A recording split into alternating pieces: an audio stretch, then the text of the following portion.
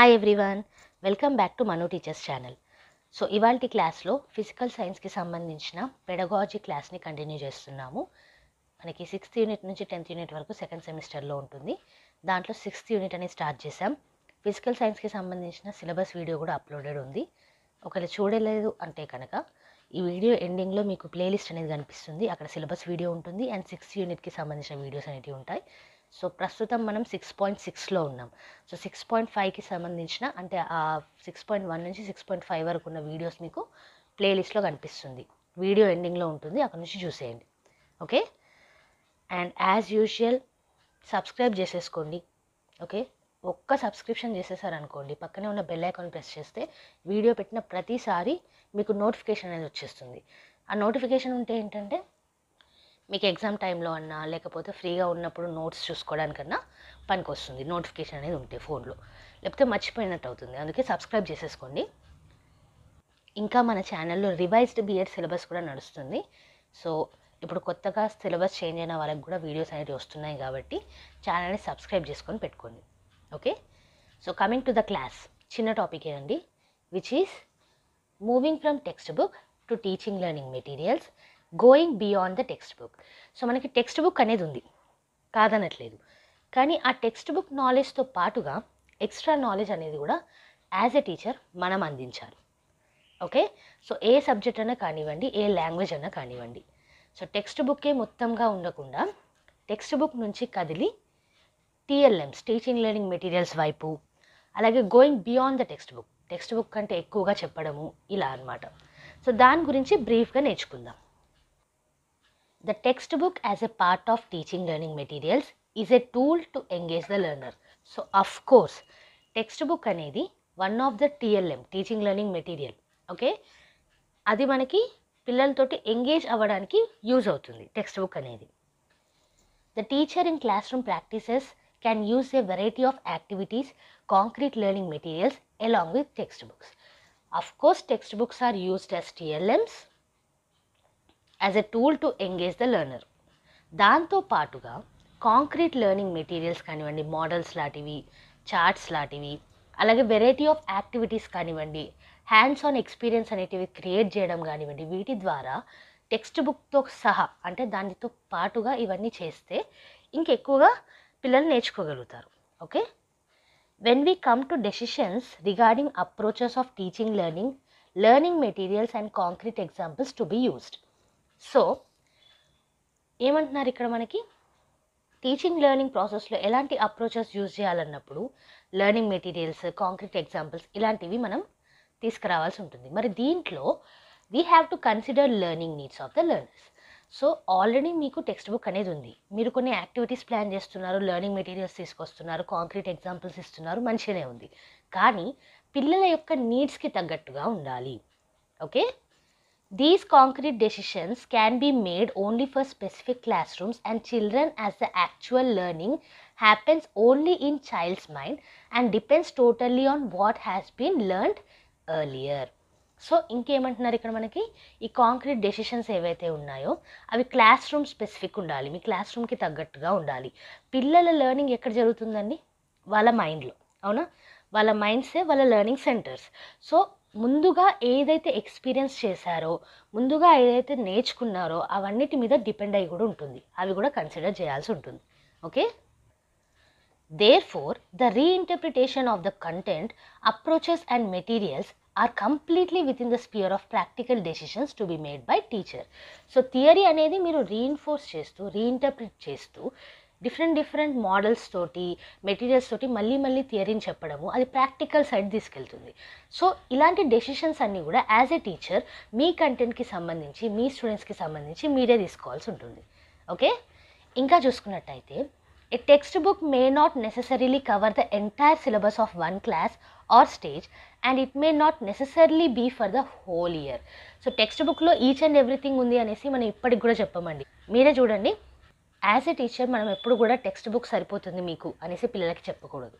Okay ఒక క్లాస్కి సంబంధించి ఒక లెవెల్కి సంబంధించి ఎంటైర్ సిలబస్ టెక్స్ట్ బుక్లో ఉందనేసి మనం చెప్పలేము. అండ్ అలాగే ఒక హోల్ ఇయర్కి సంబంధించిన ఈ సిలబస్ కూడా టెక్స్ట్ బుక్లో ఉందనేసి చెప్పలేము.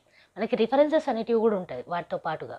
Any good text book should lead the child to interact with the environment peace and other people rather than be self content ఏ మంచి టెక్స్ట్ బుక్ అయినా సరే చుట్టూ ఉన్న ఎన్విరాన్మెంట్ తోటి మీ తోటి విద్యార్థులతోటి అండ్ అలాగే ఇంకా ఇతర వ్యక్తులతోటి కమ్యూనికేట్ చేసేలాగా ఉండాలి ఇంటరాక్ట్ అయ్యేలాగా ఉండాలి. అంతేగాని మీలో మీరే నేర్చుకునేలాగా కాదు. Okay text book should function as a guide to construct understanding through active engagement with text ideas things environment, and people rather than transferring knowledge as a finished product. So unfortunately ఇప్పుడు text books మీదనే అందరు depend అయిపోతున్నారు for the knowledge అనేసి.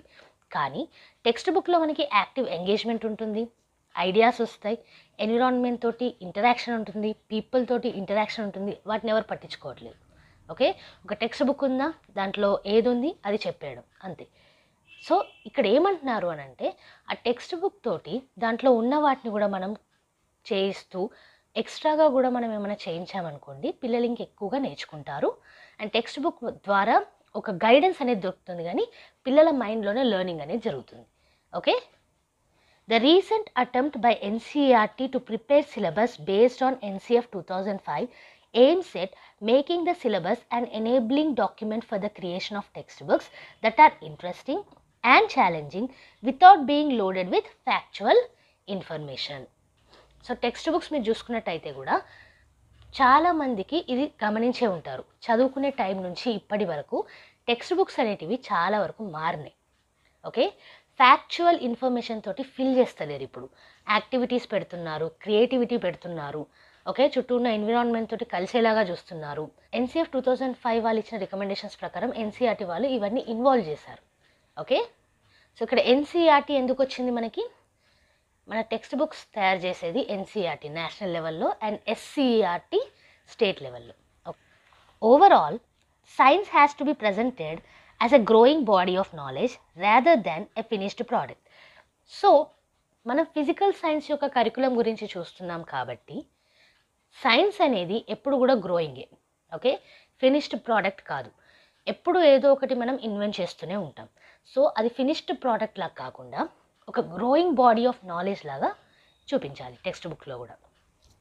In the light of this argument what is needed is not a single text book but a package of learning materials that could be used to engage the learner in active learning and inquiry. ఇప్పుడున్న student centric education సిస్టంలో active learning is compulsory inquiry is compulsory so మనం యాక్టివ్గా participate చేస్తూ నేర్చుకోవడం అనేది compulsory. So దానికోసం and అలాగే science అనేది ఒక గ్రోయింగ్ బాడీ ఆఫ్ నాలెడ్జ్. అది తీసుకురావడం కూడా సింగిల్ టెక్స్ట్ బుక్ తోటి కుదరదు. ఒక ప్యాకేజ్ ఆఫ్ లెర్నింగ్ మెటీరియల్స్ అనేటివి ఇంపార్టెంట్. ఓకే? ఇంకా చూసుకుంటే children can gain more knowledge through the activities and project works are included in every lesson. Children can learn new things when we can take them out of the class room group works discussions are also involve so ఇక్కడ ఏమంటున్నారు?